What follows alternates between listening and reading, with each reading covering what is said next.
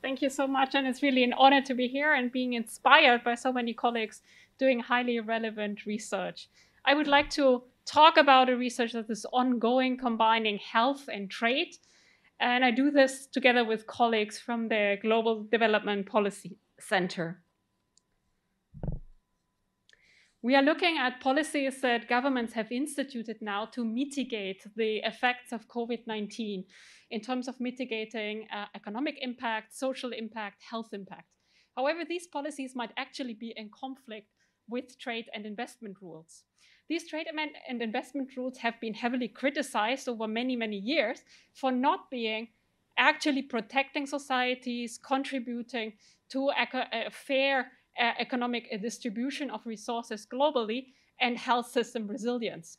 So now this pandemic really gives us the opportunity to revise some of these trade and investment rules, given that some of the countries actually have instituted policies that might conflict with them. So there is a case to bring forward to say, now is the time to revise some of these policies. And to be much more let's say, targeted with our proposal of how to revise trade and investment policies, you want to look closely at which policies actually contradict or are inflicting uh, compromising trade and investment rules, and then coming up with suggestions that are very tailored to overcome uh, and, and, revise and improve these uh, policies. So what are, what are we doing in terms of specific objectives? We would like to describe the landscape of those policies that have been enacted by uh, governments that conflict or um, conflict with um, COVID-19, uh, with trade and investment rules.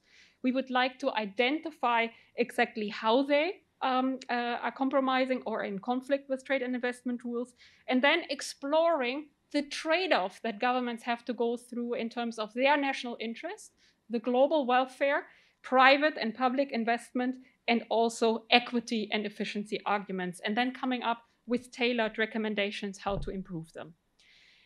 What, uh, how do we go about such a research that is at such high level? Uh, first of all, we chose five countries as cases, if you want, that have instituted very emblematic policies that you are familiar with. For instance, the investment in certain production of vaccines that actually, to a certain extent, uh, infringe some of the trade and, and, and, investment rules. So we have chosen the United States, France, and Germany as high income countries, and South Africa and India uh, as our examples. All have uh, pharmaceutical industries and are very strong in terms of protecting this, these, this industry or this sector. We, we are looking closely at what type of policies they have enacted and what type of interventions have they used. And then we will uh, characterize these and assess them in terms of their compliance. What are the preliminary results so far from our investigation? What you can see here in the first table is that the United States have enacted the highest number of state acts, um, which is maybe not surprising given the size of the country and the size of its economy. But interestingly, when you look at India here, it has the highest number of different types of interventions used. Um, the tools that the Indian government is using, in, uh, in other words, to protect its own industry is very varied It might give us a glimpse of how we could improve trade and investment rules that would better balance uh, global, global economic resources. So in conclusion, a wide range of different policies are used. Uh, lower income countries actually play an important role in improvement trade and investment policies, looking very closely at what they enact.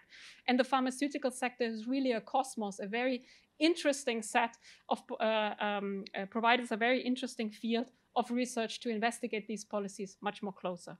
Thank you very much.